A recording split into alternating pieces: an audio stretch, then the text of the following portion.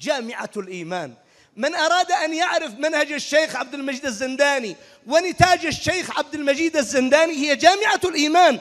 الشيخ عاش حقبة مجاهدا وعاش حقبة في هيئة الإعجاز هناك في السعودية لكن ثمرة جهده ونتاج علمه هي جامعة الإيمان.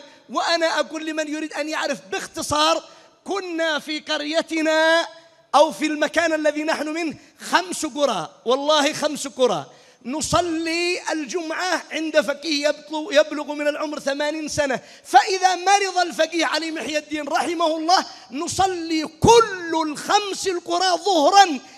يوجد خطيب يخطب بالناس. ما في ما في خطيب.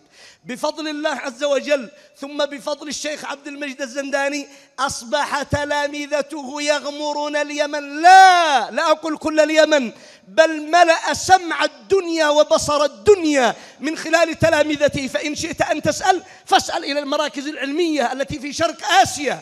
من الذي يقوم عليها غير تلامذة الشيخ؟ ولو شئت أن أسمي الآن لسميت لكم العش لسميت لكم العشرات من الأسماء من من يمسكون المراكز الإسلامية من شرق آسيا إلى أوروبا إلى أمريكا إلى كل مكان هذا كله بفضل الله عز وجل.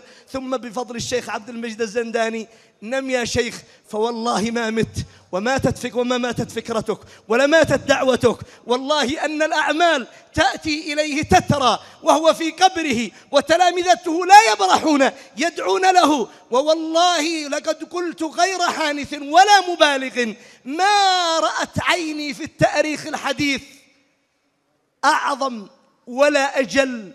ولا أسمى مكانا من الشيخ عبد المجيد الزنداني. أسأل الله أن يتغمده بواسع رحمته.